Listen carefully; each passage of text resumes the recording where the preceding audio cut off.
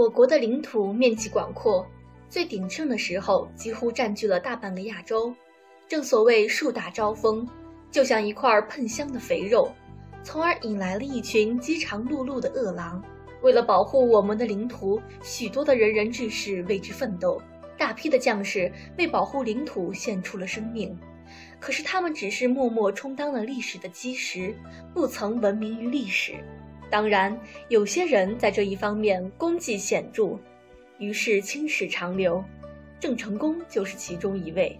郑成功最大的功绩就是收回了台湾，曾经被荷兰殖民者占据了三十三年之久。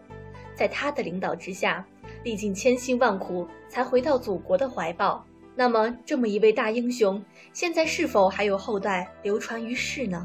根据历史文献记载，施琅攻台。郑姓一家遭灭门，那么这位英雄的家族就此灭亡了吗？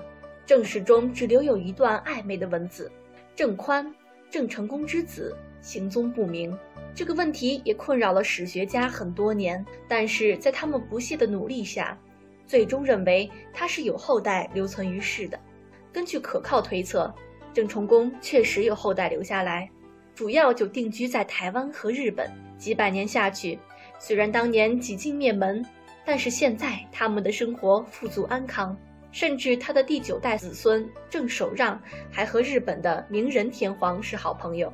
郑守让很小的时候就喜欢鱼，经常到野外抓了鱼回来自己养，而他的哥哥对他的这一爱好十分熟悉。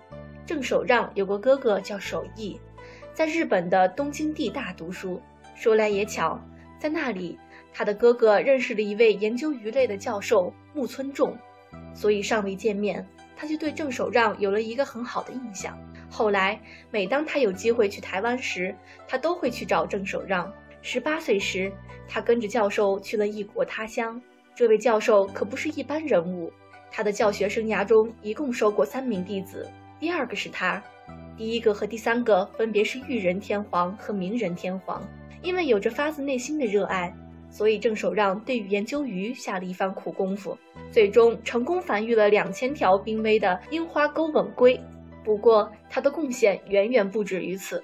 台湾有一种鱼叫做香鱼，曾经是宝岛上最普遍的物种，但是随着人们无节制的捕捞和严重的环境污染，这种鱼已经难觅其踪迹。郑守让不信邪，他偏偏要将这种鱼再次培育出来，让它们重回宝岛。鉴于材料有限。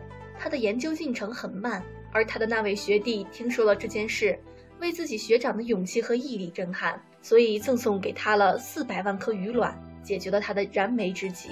最终，这百万颗鱼卵就在宝岛上安了家，繁育起来，如今也被称为台湾鱼王。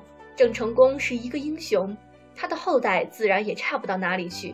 虽然我们现在还不知道他到底有多少子孙还生活在这个世界上，但是单看郑守让。我们似乎就看到了他所有后代的风采。